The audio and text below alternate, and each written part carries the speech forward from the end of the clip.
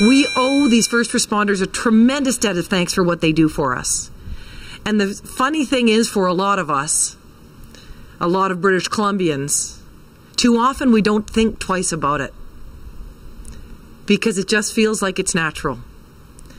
And I want to take a moment to remind all British Columbians today that if you see a first responder, whether it's police officer, ambulance paramedic, firefighter, or anybody who's on the front lines for us, take a minute to shake their hand and say thank you for what they do. We are gathered together to dedicate a garden of honor, a place where families, friends, and visitors can pause to remember the men and women of the first responder agencies who have lost their lives in line of duty. The garden ties in the three memorials dedicated to the police, firefighter, and paramedic communities that we are fortunate and grateful to rely upon.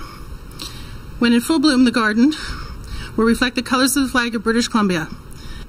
Madam Speaker, you deserve our thanks for the work that you're doing in ensuring we have a place to remember those who are lost and those who've made the sacrifices, so many sacrifices over the years.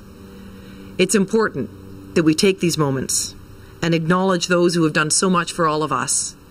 And on behalf of all British Columbians, to the first responders who are here today, and especially to the families of those who have lost a loved one in the line of duty, thank you for your sacrifice for the people of British Columbia.